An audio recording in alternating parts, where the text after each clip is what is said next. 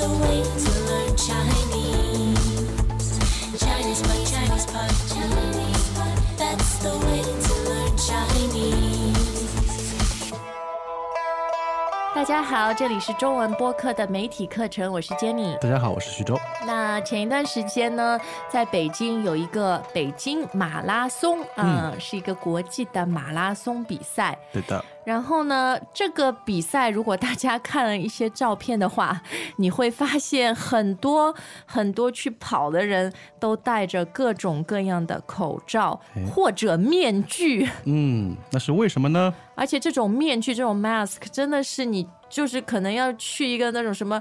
生化战争 （biological war） 戴的那种，对，原因就是因为现在北京啊、呃，中国很多地方都开始有很严重的雾霾，哎，雾霾。嗯，那么雾霾啊，它分雾和霾，对，雾好像还是比较天呃自然的一嗯能够个接受啊。天气的现象，fog，对吧？那霾霾的话，其实就是那种灰尘那些小颗粒。就是更多人造成的污染造成的啊，所以 smog 就是雾霾。好的，那我们今天要听到的这个文章呢，就是讲了一下为什么在这样的雾霾里面还要去跑北京马拉松啊。嗯那我们先来听一段这个文章。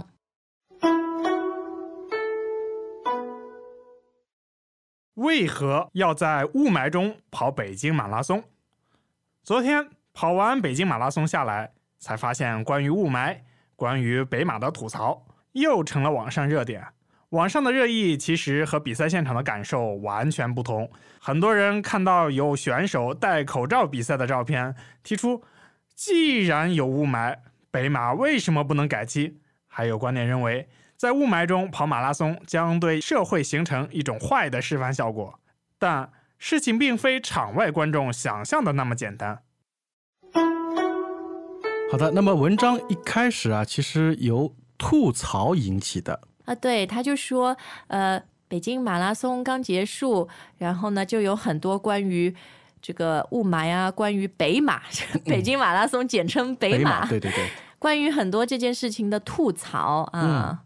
那吐槽的意思呢？就是你很不满意一件事情，然后你就抱怨，然后呢，有时候开他的玩笑，对不对？是的，嗯，所以就有很多的吐槽，但是。呃，其实事情也没有大家想的那么简单，因为很多人的吐槽就是说啊，这些人就是不要命了，这个雾霾那么严重，还要去嗯跑步。你像你跑了两三个小时，你吸入多少的这个对啊，就是 污染啊，这个废气，对不对？对啊。但是事情并非场外观众想象的那么简单。哦，那到底有什么背后的原因呢？我们接着听吧。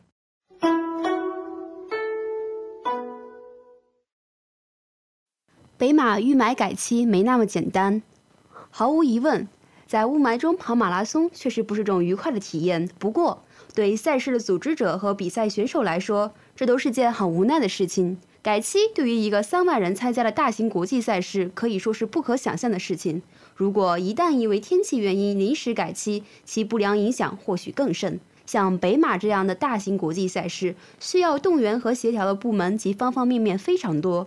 从赛事组织方来说，今年的北马志愿者就有三千一百人，如果算上安保、医护等方面，赛事动员的人员恐怕更多。就切身经验来说，一个城市马拉松比赛路线长达四十二点一九五公里，这意味着要对城市四十余公里的道路进行交通管制，并要提供相应的安保。在比赛中，笔者看到每个路口都有数名警察执勤，而在沿途路线上隔不远就有武警站岗维持秩序，避免社会闲杂人员进入比赛主干道。把这些不同部门、不同身份的人组织起来，本身就是一件难度很大的事情。大家都按照预定的日期动员起来了，其他的事情都为这一天的比赛让路了，却又临时改期，恐怕会造成更大的混乱。这还未将赞助商因素考虑在内。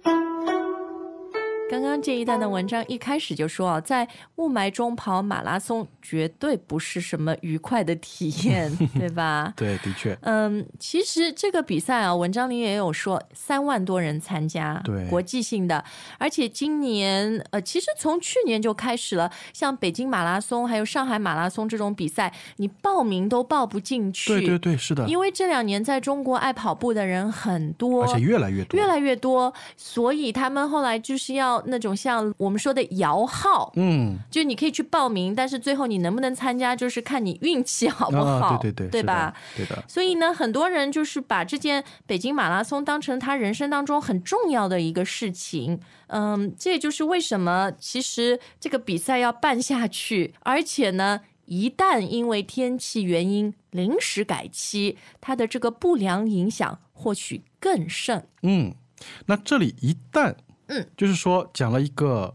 原因，就是一发生这种事情，然后就会怎么样怎么样，所以一旦在这里的意思就是，呃，如果因为这种原因，对吧？它对，这万一发生万一，对对对对，跟万一比较像对。啊、一旦因为天气原因临时改期，这个不良影响或许更甚。对的，那呃，这个更甚，其实大家看到更就知道是一个比较，对吧？对所以它比较影响更甚，就可能更坏一点。对，就是影响更大，更大一点啊。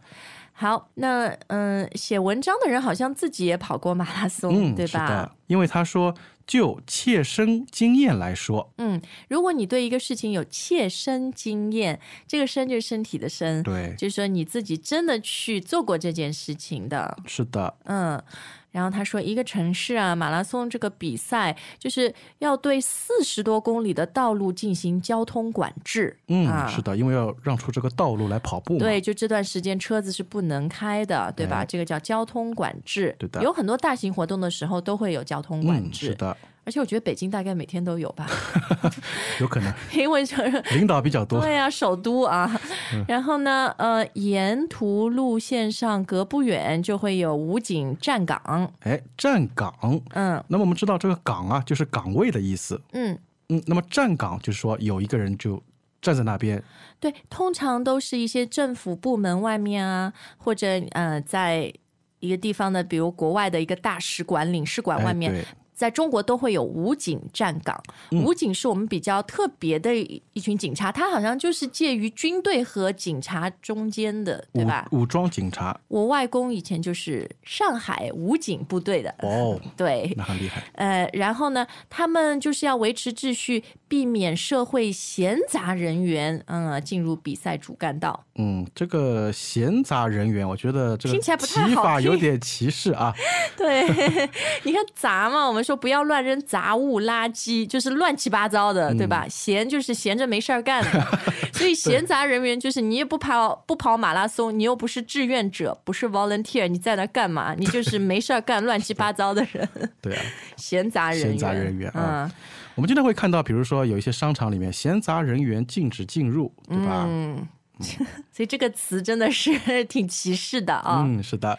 好，那么接下去啊，他们谈到了一个北马嗯，是一个社会活动，就不光是一个体育比赛，对吧？好，那我们听听它为什么是一个社会活动。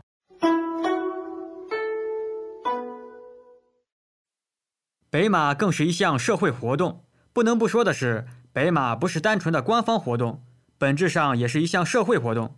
这就牵扯到比赛中的另一方选手，因而比赛改期并不是赛事官方能决定的事情。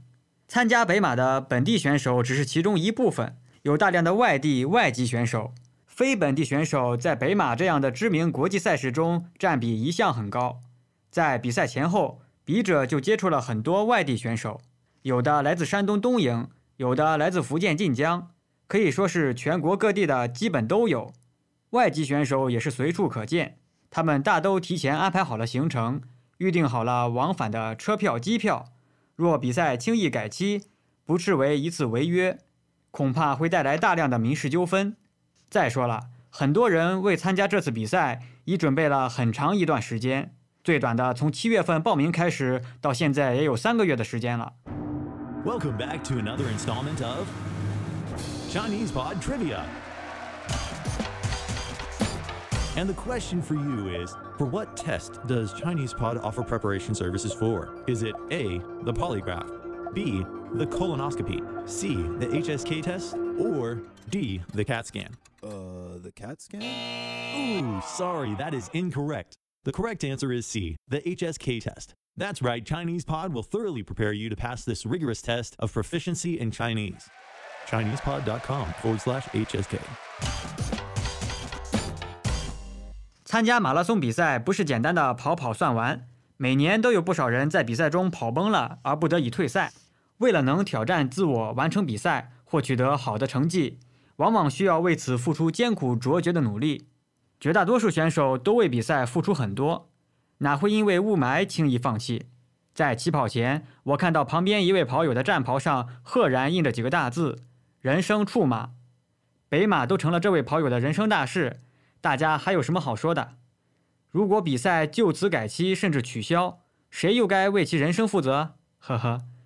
也正因为北马是一项社会活动，所以不可避免成为大众的秀场。有人扛着盾牌出现，有人带着天使的翅膀跑步，有人年年推一个铁环，有人打扮成孙悟空，这都很正常，就是图一乐子，无需过度延伸。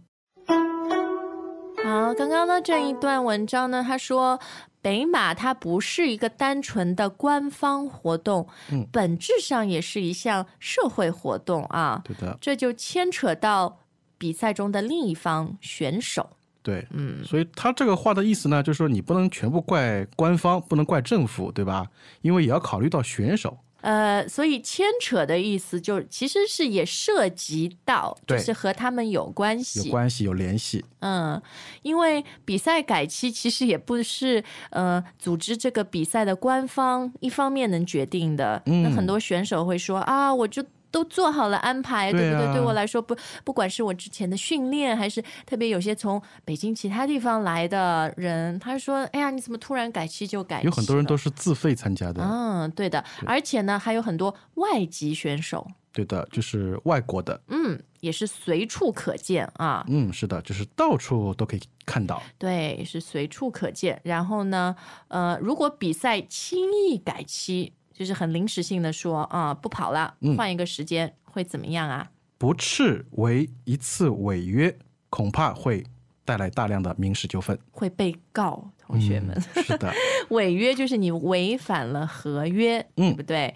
那这个不斥，我必须说一下，这个字是我 第一次学到，哦是吧？之前还不知道怎么这个念。是很少见的。嗯嗯，那它是什么意思呢？它的意思呢，就是不仅仅，不只是，啊，对，因为经常书面，特别是出现在一些比较大的官方媒体上面的文章，就是会这个记者为了表明自己受教育程度之高，常常会用一些我们说的生僻字。哎，生僻字。不那么常出现的，对吧？嗯你要看懂，还得查个字典，还得用偏旁部首查，哎，也不知道读音，也不能用，但是我们中文 播播客的听众啊，就已经知道这个字了。因为今天告诉你们了对啊。，不好斥啊嗯，，不斥为就是不不只是不仅仅是对。好的，那呃后来又说到参加马拉松呢，不是简单的跑跑就算完了，对吧？嗯，每年都有不少人在比赛中怎么样啊？跑崩了。不得已退赛啊？对啊，什么是跑崩啦？呃，崩的话呢，我们知道，比如说雪山，对吧？它会有雪崩，嗯，啊就是这个雪山哗一下，全部都雪都掉下来了。对，哎，那么跑崩的意思呢，可能是我我个人感觉啊，因为我也是第一次看到这个词，个人感觉呢，就是说他可能体力不支，对，或者说他一下子因为什么崩溃，某种原因崩溃了，啊就崩？溃了，呃，对因为这个倒不是个生僻字，还蛮常用的啊。嗯是的跑崩了，就是呃，你你像你说的，因为体力啊各种各样的原对，因，或者雾霾吸的太多了，对吧？对对对。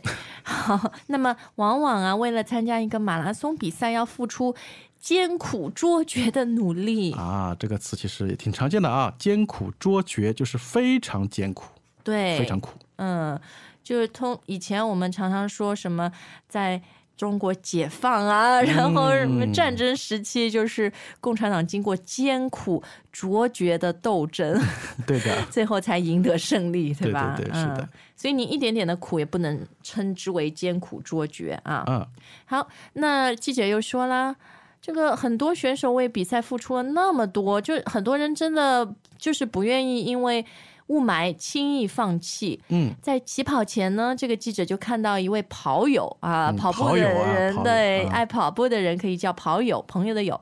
他的战袍上赫然印着几个大字：人生处马。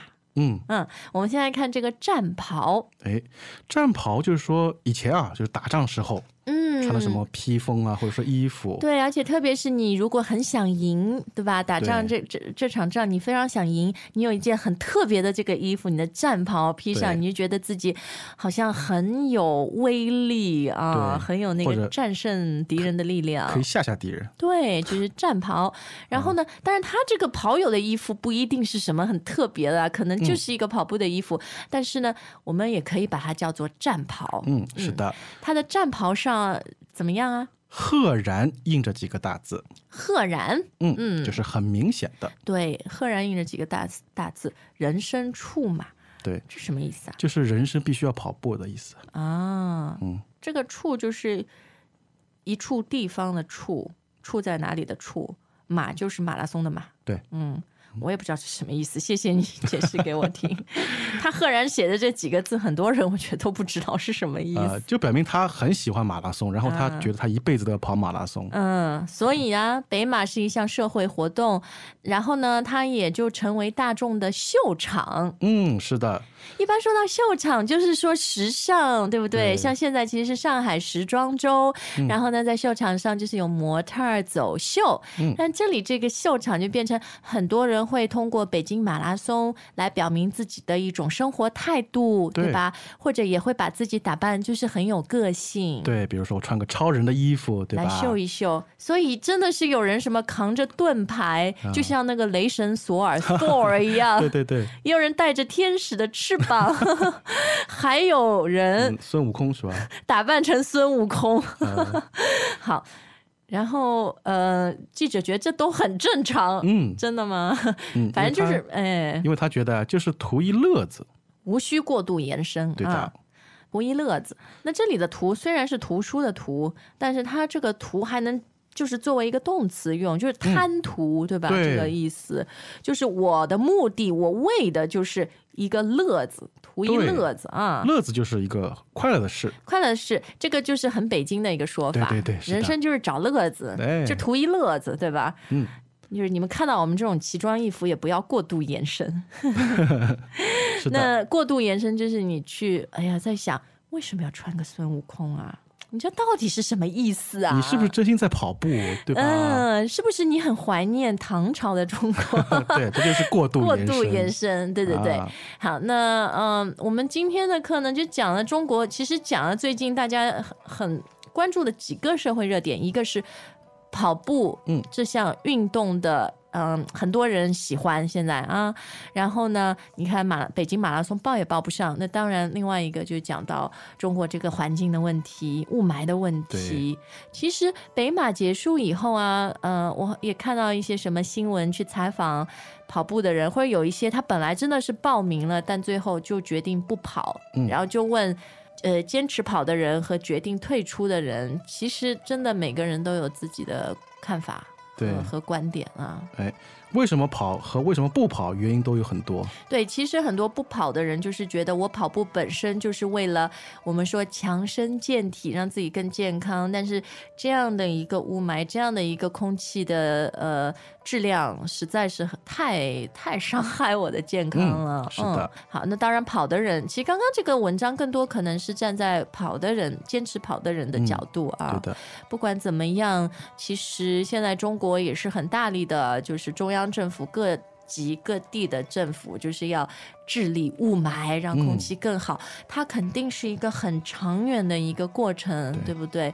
所以在在这段时间呢，我觉得我们每个人都只只能从小环境做起啊，嗯，戴戴 N 九五口罩，自己家里买个空气净化器之类的。啊，那就算你要去跑步也好，或者锻炼也好，也要做好必要的防护。嗯，保护好自己啊。对，是的，好，今天我们的课就到这儿，下次再见。再见。